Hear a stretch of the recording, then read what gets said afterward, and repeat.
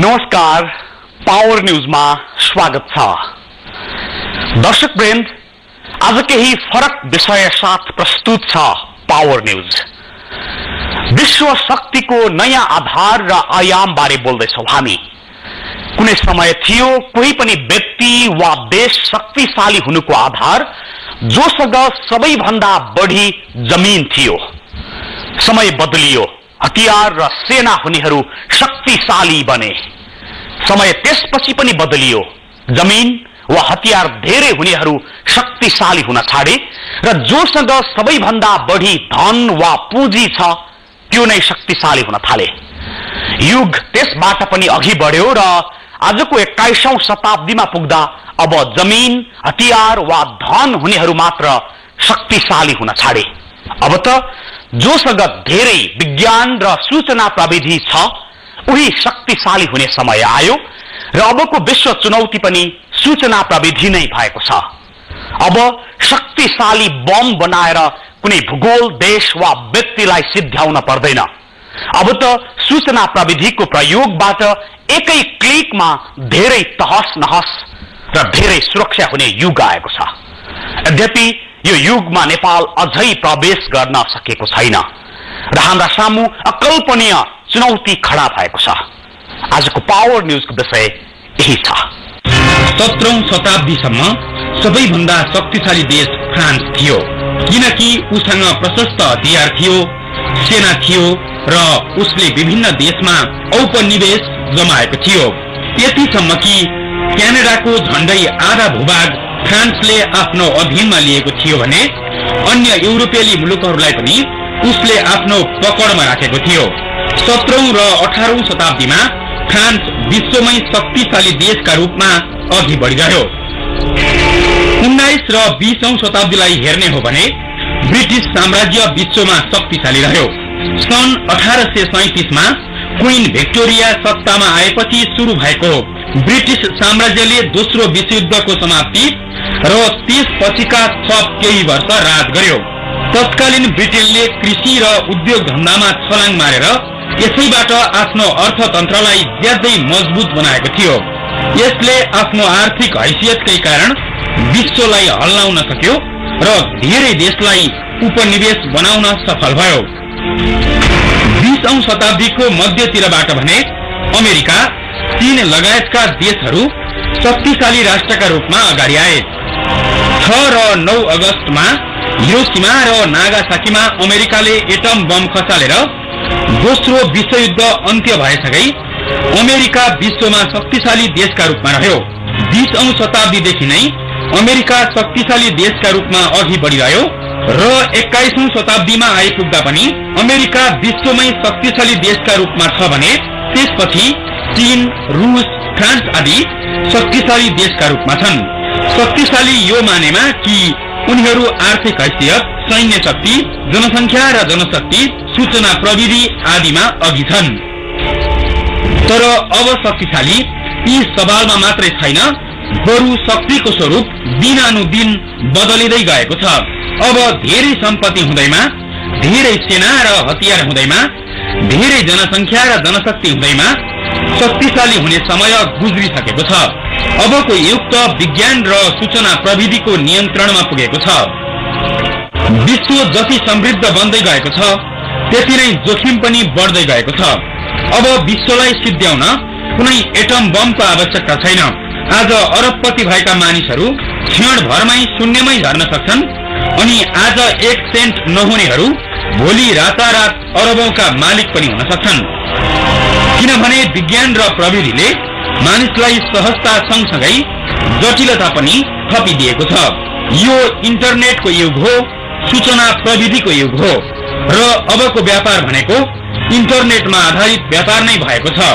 तर यदि सुरक्षा सतर्कता नअपनाउने हो भने सबै हाम्रा खातामा भएका पैसाहरू क्षणभरमै कुनै ह्याकरको खातामा पुग्न सक्छ। ह्याक हुने मेन कारण चाहिँ नि तपाईँको यो मोस्ट अफ द तपाईँको viruses are carried out by email यो अनअवेर भएर किनभने अब जस्तो कुनै एट्याकरले तपाईँलाई इमेल पठाउँछ।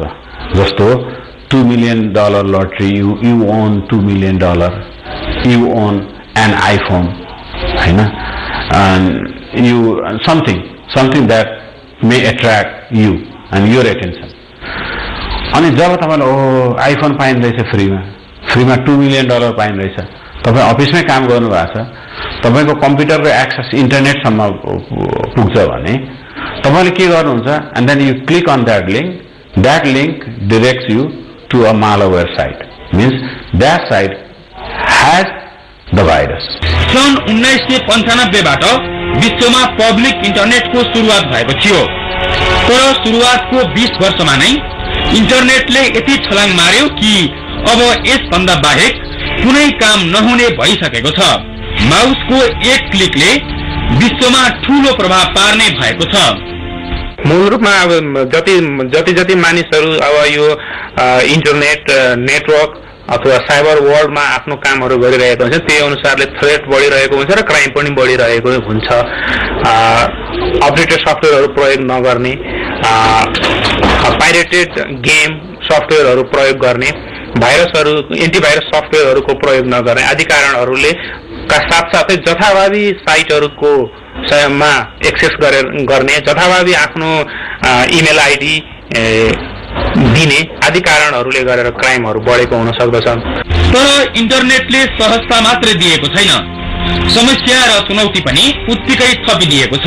अहिले विश्वमा प्रत्येक एक मिनटमा एक लाख साइबर क्राइमसँग सम्बन्धित घटनाहरू हुने गर्छ। अहिले जसरी इन्टरनेटलाई यति ठूलो विश्वलाई एउटा सानो गाउँ अर्थात् ग्लोबल भिलेजका रूपमा परिणत गरिदिएको छ त्यति नै सुरक्षा खतरा पनि छ। अब साइबर क्राइम वा इन्टरनेट प्रयोगको सुरक्षा खतरा एउटा व्यक्तिको कम्प्युटर बिगार्ने मात्रै होइन। यसले आर्थिक क्षतिदेखि अत्यन्तै महत्वपूर्ण तथ्याङ्क चोरी वा लिक गरेर देशलाई पनि हानि पुर्याउन सक्छ।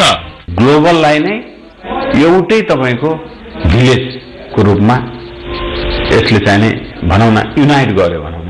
जहाँ संसारमा जहाँ बसेर पनि इन्फर्मेसनहरूलाई सेयर गर्न सक्ने। र अब के रह्यो अहिलेको अवस्था भने त्यसपछि चाहिँ साइबर थ्रेट इभोल्युसनको पनि सुरुवात भयो। जसरी आइटी इभोल्युसनको सुरुवात भयो त्यसरी साइबर थ्रेड इभोल्युसनको सुरुवात भयो। जब साइबर थ्रेड इभोल्युसनको सुरुवात भयो पहिला एउटा सानो इन्डिभिजुअल कम्प्युटरलाई कसरी ड्यामेज गर्ने? होइन। त्यसपछि जब वर्ल्ड वाइड वेबमा हामी गयौँ त्यसपछि रिमोटली कसरी चाहिँ सिस्टमहरूलाई ड्यामेज गर्ने रिमोटली कसरी इन्फर्मेसनहरूलाई स्टिल गर्ने त्यसको पनि विकास हुँदै गयो। र अहिलेको सन्दर्भमा हेर्दाखेरि अब अहिले हामी धेरै अगाडि बढिसक्यौँ। टु थाउजन्ड ट्वेन्टीसम्मको कुरा गर्दाखेरि हाम्रो तपाईँको संसारमा फिफ्टी बिलियन स्मार्ट अब्जेक्ट्सहरू हुने हामीले प्रडिक्सन गरेका छौँ। त्यो सबै इन्टरनेटमा हुकअप हुँदैछ। त्यसको मतलब they will be expose out to the internet means bad people hacker will have access सन् दुई हजार दस पछिका पाँच वर्षलाई हेर्ने हो भने ठुला ठुला साइबर क्राइम भएको छ र त्यसबाट ठुलो आर्थिक नोक्सानीदेखि राष्ट्रिय सुरक्षामा समेत समस्या परेको छ।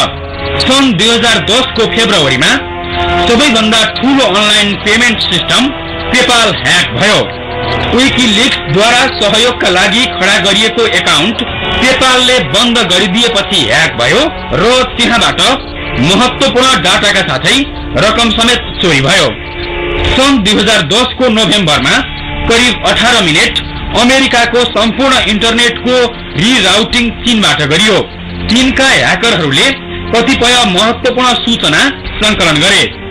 सन् दुई हजार दसकै नोभेम्बरमा भारतीय साइबर आर्मी बताउने ह्याकरको समूहले पाकिस्तान सेनाको आधिकारिक वेबसाइटका साथै परराष्ट्र मन्त्रालय अर्थ मन्त्रालय र शिक्षा मन्त्रालयको वेबसाइट ह्याक गरेर सम्पूर्ण डाटा चोरी गरे। त्यस लगत्तै पाकिस्तानी साइबर आर्मी बताउने ह्याकरको अर्को समूहले भारतको केन्द्रीय अनुसन्धान ब्युरो सिआइबीको वेबसाइट ह्याक गरेर कतिपय डाटा चोरी गरे भने कतिपय डाटा डिलिट गरिदिए। सन् दुई हजार दसमा बर्मामा हुन लागेको आम चुनावको बेला पनि साइबर निर्वाचन आयोगले वेबसाइट ह्याक भएर धेरै समस्या पर्यो। सन् दुई हजार एघारको फेब्रुअरीमा क्यानाडा सरकारको तीनवटा महत्वपूर्ण निकायका वेबसाइटहरू ह्याक भयो। त्यहाँबाट महत्वपूर्ण जानकारी चोरी भयो। त्यो साइबर एकाउन्ट चीनबाट भएको क्यानाडाले आरोप लगायो। सन् दुई हजार बाह्रमा साइबर ह्याक झनै अघि बढ्यो। सन् दुई हजार तेह्रमा विश्वभरबाट साइबर क्राइमका दुई लाख अन्ठानब्बे हजार दुई सय चौहत्तरवटा उजुरी परे र त्यहाँबाट बाहन्न करोड चौवालिस लाख एकचालिस हजार अमेरिकी डलर चोरी भएको उजुरी पर्यो। सन् दुई हजार चौधमा अमेरिकाको सोनी पिक्चरमा साइबर अट्याक भयो। उत्तर कोरियाली नेता किम जोङ उनलाई हास्य पात्र बनाएको फिल्म द इन्टरभ्यू रिलिज हुने बेलामा सोनी पिक्चरमाथि हमला भयो। ह्याकरले द इन्टरभ्यू फिल्म रिलिज नगर्न दबाब दिनुका साथै सोनी पिक्चरका कर्मचारीहरूको व्यक्तिगत विवरण समेत चोरी गरे। अनि रिलिज नभएका कतिपय फिल्म तथा डाटाहरू रिलिज गरियो जसबाट सन् दुई हजार चौधमा हलिउड पुरै त्रसित रह्यो सन् दुई हजार पन्ध्रमा आइपुग्दा पनि साइबर थ्रेट घटेको छैन। बरु झन झन बढिरहेको छ। छिमेकी देश भारतमा पनि साइबर अट्याकका घटना करिब दुई सय प्रतिशतले बढिरहेको छ। विश्व जति जति चुस्त बन्दैछ खतरा पनि उत्तिकै तीव्र गतिमा आइरहेको छ। अबको थ्रेट भनेको फिजिकल नभएर लजिकल भएको दावी गर्छन् साइबर विज्ञ डाक्टर रामहरि सुवेदी फ्रेमवर्क ठुलो ब्रड फ्रेमवर्कमा अगाडि बढ्नु जरुरी छ। यो चाहिने आज फायरवाल राखेर मात्रै हुँदैन। तपाईँको चाहिने Windows operating system genuine version राखेर मात्रै हुँदैन। विन्डोज फायरवाल राखेर मात्रै हुँदैन। बुझ्नुभयो नि के? एउटा चाहिने सर्भर राखेर मात्रै हुँदैन। त्यसलाई मेन्टेन म्यानेज पोलिसिज प्रोसिजर त्यसलाई weekly update monthly update daily update त्यसको लागि स्किल मेन पावरहरू पनि हुनु जरुरी छ। साइबर अट्याक वा ह्याक पछिल्ला दिनमा यति खतरनाक बन्दै गएका छन् कि कुनै बेला यो इबोला भाइरस भन्दा पनि खतरनाक हुने चेतावनी दिन्छन् डाक्टर सुवेदी। भाइरसले इन्फेक्टेड तपाईँको फाइललाई इन्फेक्टेड गराइदिएन करप्ट भइदिन्छ। ए मैले ब्याकअप गरेको छु भनेर मात्रै हुँदैन। ब्याकअप गरे पनि तपाईँले भोलि रिस्टोर गर्न सक्नुहुन्न।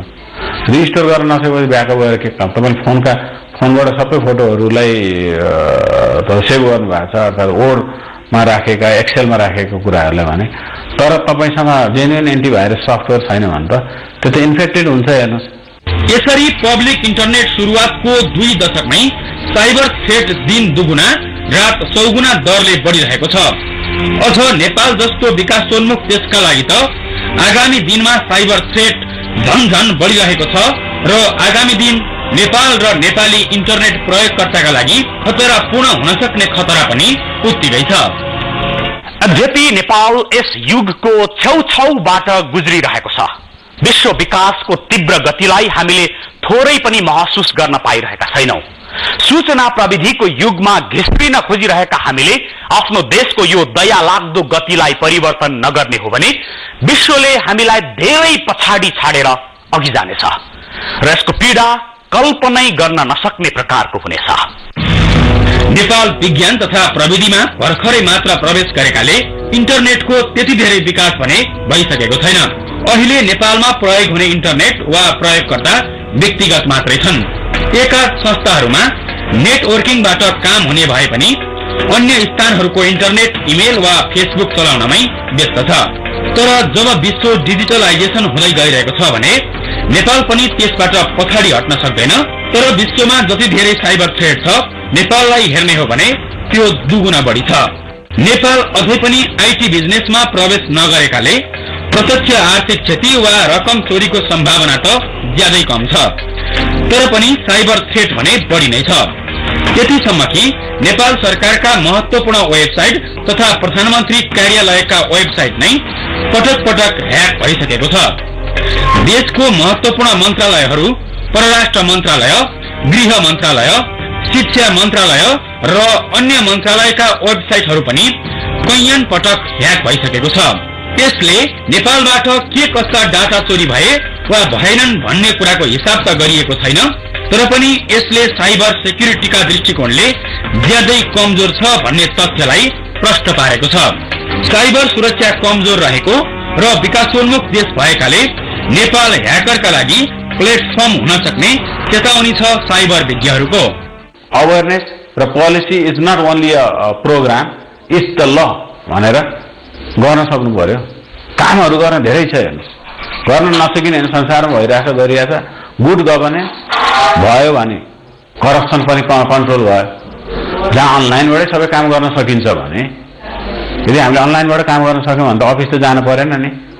यहाँको तपाईँको fifty two sixty seventy percent ट्राफिकै तपाईँको मिनिमाइज हुन्छ। नेपालमा प्रयोग हुने अपरेटिङ सिस्टम पाइरेटेड हुनु। राम्रो एन्टिभाइरस वा इन्टरनेट सेक्युरिटी प्रयोग नगर्नु। फायरवाल नहुनु मात्रै होइन। नेपालका इन्टरनेट प्रयोगकर्ताहरू सचेत नहुँदा नेपालमा झन बढी खतरा छ। धेरै जसो सामाजिक सञ्जालसँग रिलेटेड साथसाथै यो प्रतिलिपि अधिकार हनन गरिएका म्युजिक भिडियो त्यस्तै गरी म्युजिक साथसाथै फिल्म आदिको चोरी भएको अनधिकृत रूपमा चाहिँ युट्युबमा डाउनलोड अपलोड गरिएको तथा बिक्री वितरण गरिएको लगायतका कुराहरूसँग सम्बन्धित आइरहेका छन्। तर त्यसको अलावा ब्याङ्किङ अपराध ब्याङ्किङसँग सम्बन्धित लगायतका अन्य अन्य अपराधहरूसँग सम्बन्धित उजुरीहरू पनि आइरहेका हुन्छन्। साइबर विज्ञ भन्छन् पन्चानब्बे प्रतिशत साइबर थ्रेट र घटनाहरू प्रयोगकर्ताकै कमजोरीका कारण हुन्छ। नेपाल जस्तो देशका प्रयोगकर्ता इन्टरनेट सेक्युरिटीका बारेमा ज्यादै कमजोर रहेकाले नेपाल ह्याकरको निशानामा पर्न सक्छ इमेलमा आउने जङ्क मेल वा दुई अर्बको लोटरी वा आइफोन जितेको इमेलले नेपालीलाई पनि लोभ्याएकै छ र यसबाट उनीहरूले आफ्नो डाटा मात्रै होइन कतिपयले त रकम पनि गुमाएकै छन्। यद्यपि नेपालमा हुने साइबर क्राइम मध्ये अधिकांश फेसबुक लगायतका सामाजिक सञ्जालहरूसँग सम्बन्धित छ। नेपालमा साइबर क्राइम सम्बन्धी कानून बने पनि त्यो त्यति प्रभावकारी बन्न सकेको छैन र त्यसमा अनुगमन पनि फितलो छ। जसकारण एकातिर साइबर क्राइमका घटनाहरू बढिरहेको छ भने नेपाल स्मार्ट कार्ड प्रवेश गर्ने कुरा गरिरहँदा साइबर थ्रेट अर्थ बढेको छ। दर्शकवृन्द साइबर थ्रेट सामना गर्नका लागि नेपाल सबभन्दा निरीह मध्येको देश भएको छ। हामीले सूचना प्रविधिको युगमा आफ्नो सशक्त उपस्थिति नै देखाउन सकिरहेका छैनौं। यो पीडा व्यक्त गर्न नसकिने प्रकारको छ। यस्तो बेला कम्तीमा जोगिएर रहन सक्नु पनि एक उपलब्धि हुनेछ। तर कसरी? यस बारेको सन्दर्भ सहित आउँछौ तर त्यसअघि एकैछिन विश्राम लिन्छौं। दर्शकवृन्द न्युज ट्वेन्टी फोर टेलिभिजनमा पावर न्युज बीच हुनुहुन्छ। आज हामी साइबर सेक्युरिटीका विषयमा बोलिरहेका छौं। र अबको सन्दर्भ आफ्नै सुरक्षा चिन्ताको विश्वमा साइबर थ्रेट बढिरहे पनि हामी न्यूनतम आधार पूरा गरेर केही हदसम्म सुरक्षित रहन सक्छौ। नेपालमा पन्चानब्बे प्रतिशत अपरेटिङ सिस्टम पाइरेटेड भएकाले करिब पन्ध्र हजारमा एक पटक जेनुन ओएस किने थ्रेट केही कम हुने साइबर विज्ञ डाक्टर रामहरि सुवेदीको भनाइ छ। यो बाहेक जेनुन एन्टिभाइरस वा इन्टरनेट सेक्युरिटी किन्ने र अलिक राम्रो फायरवाल प्रयोग गर्ने हो भने धेरै हदसम्म सुरक्षित रहन सक्ने उनको भनाइ छ। पर्सनल लेभलमा हो भने जेन्युन तपाईँको चाहिँ एन्टिभाइरस सफ्टवेयर युज गर्नुपर्छ होइन? त्यहाँ छैन I think it would cost maybe two thousand rupees होइन? हियर इन नेपाल अनि त्यसपछि अर्को genuine version of Windows operating system राख्नु पर्यो जब genuine version of Windows operating system राख्नुहुन्न भने पाइरेटेड त तपाईँलाई अपडेट हुनै गर्नै सकिन्न Microsoft release patches every month only every month, also every uh, every other week or every week, sometimes next day. नेपालका internet प्रयोगकर्ताहरू साइबर सेक्युरिटीका बारेमा बेपरवाह रहेको भन्दै लोटरी वा उपहारवाला इमेलमा क्लिक गरेकै भरमा कम्प्युटर ह्याक हुनेदेखि फिसिङ वेबसाइटहरूमा प्रवेश गरेर थप समस्या आउने सुवेदीको भनाइ छ।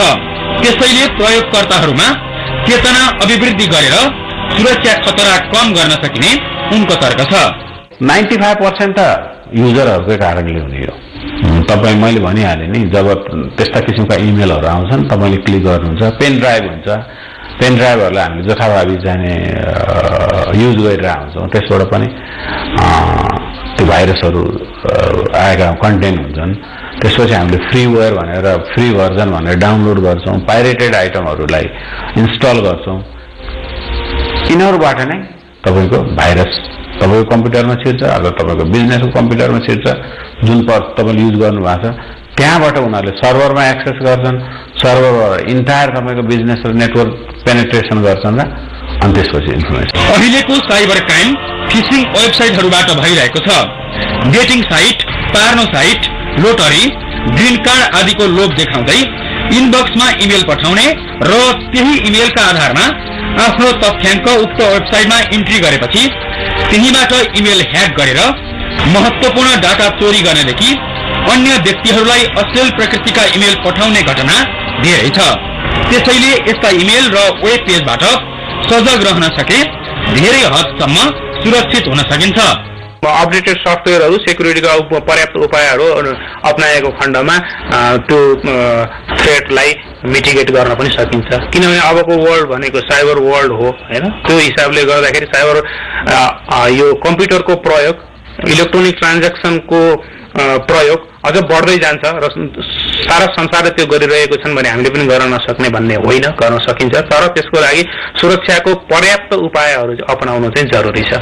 यसरी जति जति हामी सजगता खोजिरहेका छौँ त्यति नै बढी हामीलाई समस्या पनि थपिरहेको छ। यो वा त्यो लोभ देखाएर होस् वा अन्य कुनै कारणबाट हामी दिनानुदिन असुरक्षित बन्दै गइरहेका छौँ। अझ पछिल्लो दिनमा मोबाइल आइप्याड क्यामेरा लगायतका साधनबाट हुने डिजिटल मिसयुज र त्यसले निम्त्याउने साइबर क्राइम त झनै डर लाग्दो छ। त्यसैले अब आफैले सुरक्षाको उपाय अप्नाउँदै सुरक्षित हुन जरुरी छ। दर्शकवृन्द तीव्र गतिको सूचना प्रविधि विकास सँगसँगै दौडिन नसके पनि यो अकल्पनीय विकासको भीड बीच जोगिने कोसिस गर्नुको विकल्प छैन। यस्तो नहोस् कि कुनै दिन देशको विकास र परिवर्तन नै अकल्पनीय अधुरो अपुरो र निरीह। हामी यस्तै बाटोमा घिस्रिरहेको अपुरो देश भएका छौं। सूचना प्रविधिमा। यसबारे सोचिनु पर्दछ र आफूलाई परिवर्तनको गतिमा दौडाउन सक्नुको कुनै विकल्प छैन। अब। यति नै आजको पावर न्युज थप न्युजका लागि हाम्रो website W W W dot news twenty four Nepal dot TV हेर्नुहोला। साथै हामीलाई फेसबुक ट्विटर र युट्युबमा पनि फलो गर्न सक्नुहुन्छ। अहिलेलाई विदा दिनुहोस् हामी निरन्तर न्युजमा छौं। नमस्ते।